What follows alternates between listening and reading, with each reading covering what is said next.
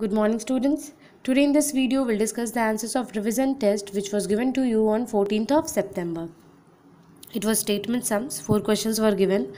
The first question is Preeti bought a cake worth rupees 450. प्रीति ने एक cake खरीदा और उस केक का कॉस्ट था rupees four hundred fifty and a banana bread for rupees one hundred thirty three एक banana bread खरीदा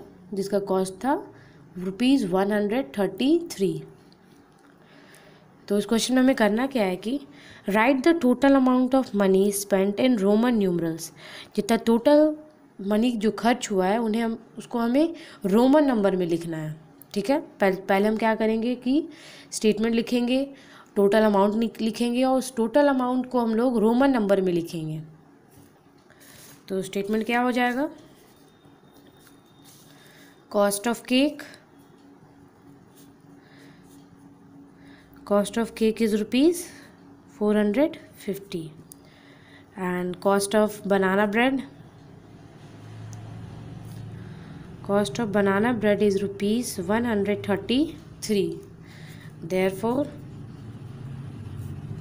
total amount of money क्या हो जाएगा total amount of money spent जब टोटल निकाला रहता है तो क्या करते हैं हम लोग ऐड करते हैं that is rupees four hundred fifty को और rupees one hundred thirty three को ऐड करेंगे। ठीक है? तो zero plus three is three five plus three is eight and four plus one is five कितना आया? फाइव हंड्रेड एटी थ्री अगर आप लोगों को डायरेक्ट लिखने नहीं आता है तो हम लोग ऐसे भी लिख सकते हैं that is five hundred expand expanded form करके five hundred plus eighty plus three तो फाइव हंड्रेड का क्या होता है रोमन नंबर हंड्रेड का सी होता है और फाइव हंड्रेड का डी। ठीक है? प्लस एटी का क्या होगा? L triple X. थ्री का थ्री लाइंस तो क्या बन गया ये? D L X X X one one one. तो the answer is in Roman number. यहाँ पे लिख देते हैं। D L x x x 1 1 1 now the second question is, neha bought a fully furnished house for rupees 8 crore 75000 Neha ने एक fully furnished house खरीदा। Fully furnished house मतलब जिसमें सारे, सारा कुछ फर्नीचर्स ये सब भी पहले से प्रेजेंट हो। तो एक फुली फर्निश्ड हाउस खरीदा नेहा ने eight crore seventy five thousand में।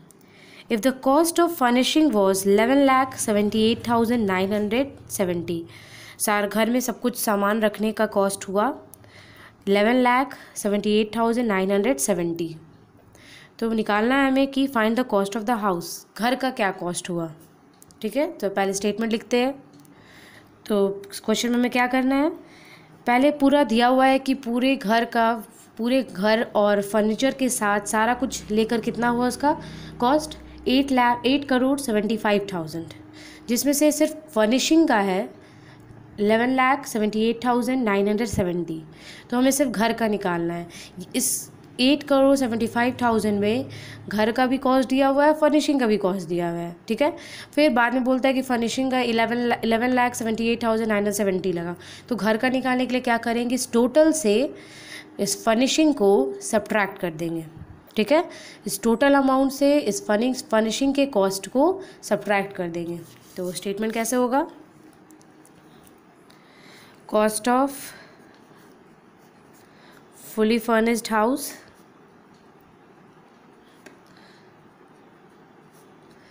cost of fully furnished house is rupees eight crore seventy five thousand cost of furnishing कितना दिया हुआ है?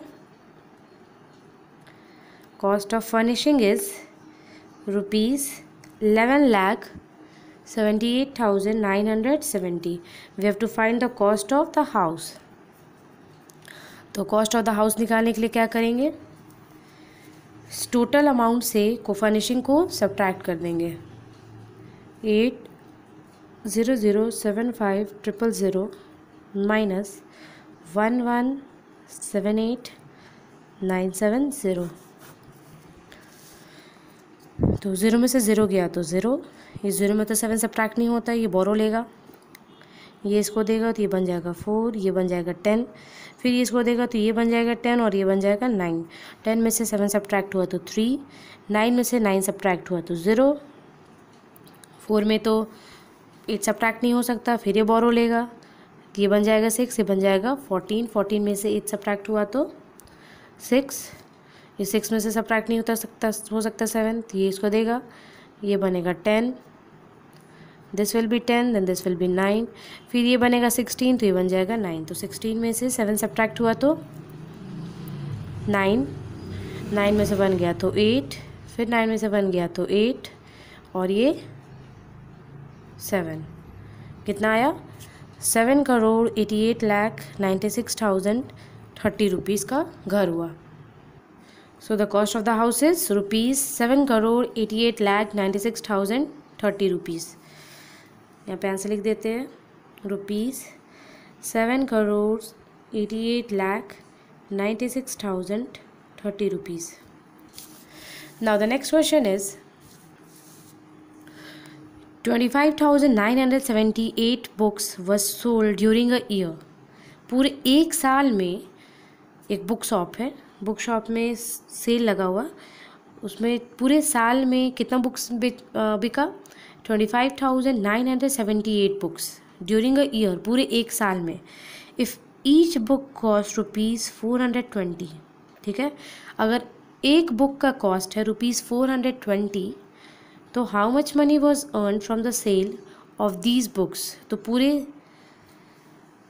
बुक को बेचने के लिए सॉरी पूरा जो बुक है twenty five thousand nine hundred seventy eight books वो पूरे कितने पैसे, कितने रुपीज़ में बेचा गया? एक बुक का कॉस्ट दिया हुआ है फोर हंड्रेड ट्वेंटी रुपीज़ हमें निकालना कितने का है? Twenty five thousand nine hundred seventy eight books का कॉस्ट निकालना है।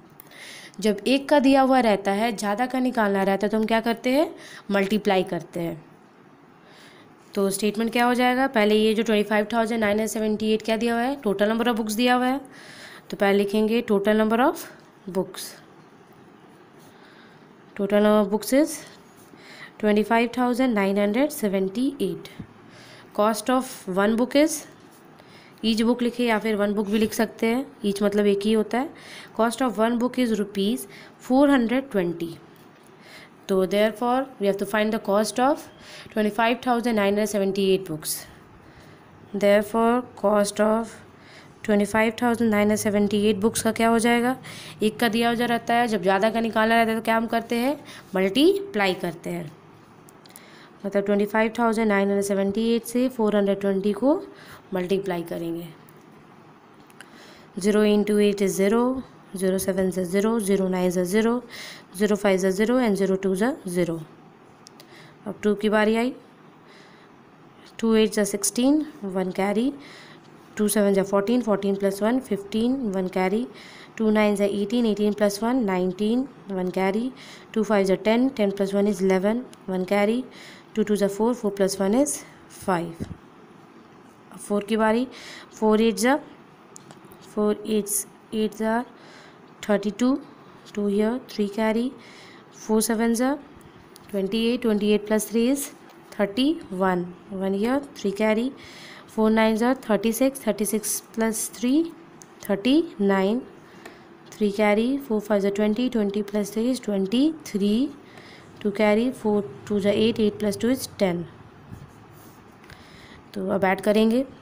Zero six five plus two is seven nine plus one is ten one carry nine plus one is ten ten plus one is eleven five plus three is eight eight plus one is nine this is zero and this is one मतलब total cost कितना हुआ? Rupees one crore nine lakh ten thousand seven hundred sixty rupees rupees one crore nine lakh ten thousand seven hundred sixty rupees ना the next question cost of forty eight jackets is rupees fifty two thousand four hundred twelve forty eight jackets का cost दिया हुआ है fifty two thousand four hundred twelve find the estimated cost of one jacket ज़्यादा का दिया हुआ रहता है, एक का निकालने के लिए क्या करते हैं हम? डिवाइड करते हैं, ठीक है? ये तो पता चल गया कि एक का यहाँ पे निकालना है मतलब डिवाइड करेंगे। लेकिन यहाँ पे देखिए क्वेश्चन में, यहाँ पे एस्टिमेटेड कॉस्ट दिया हुआ है। एस्टिमेटेड मतलब हमें राउंड ऑफ़ करके निकालना है, ठीक है? तो पहले स्टेटमेंट लिखते हैं। Cost of forty eight jackets कितना है? Cost of forty eight jackets is rupees fifty two thousand four hundred twelve therefore cost of one jacket क्या हो जाएगा? कॉस्ट ऑफ़ वन जैकेट तो अगर एक जैकेट का निकालना जब ज़्यादा का दिया हुआ है और एक का निकालना तो क्या करते डिवाइड करते, ये तो पता चल गया कि एक का निकालने के लिए क्या करेंगे fifty two thousand four hundred twelve से ट्वेल्व को फोर्टी एट से डिवाइड करेंगे। बट यहाँ पे एस्टिमेटेड कॉस्ट निकालना है। एस्टिमेटेड मतलब हमें राउंड ऑफ़ करना होगा। तो फोर्टी एट का राउंड ऑफ़ कितना हो जाएगा? ये देखिए फोर्टी एट जो है ये मैक्सिमम यहाँ पे टेंस डिजिट तक गया है। तो हम लोग क्या करेंगे? नियरेस्ट टेन करेंगे। तो नियरेस्ट टेन के लिए कौन से प्लेस को एग्जामिन करेंगे? वंस प्लेस को। वंस प्लेस में क्या है? This is greater than five जब ग्रेटर देन फाइव रहता है तो क्या करते हैं? बगल में प्लस वन करते हैं और वहाँ पे zero that is forty eight का एस्टिमेशन क्या हो जाएगा? एट के जगह पे ज़ीरो और फोर प्लस वन हो जाएगा। प्लस वन क्यों किए? क्योंकि एट से ग्रेटर था। इसलिए बगल में क्या करते हैं? प्लस वन करते हैं। That is a four plus one क्या हो जाएगा?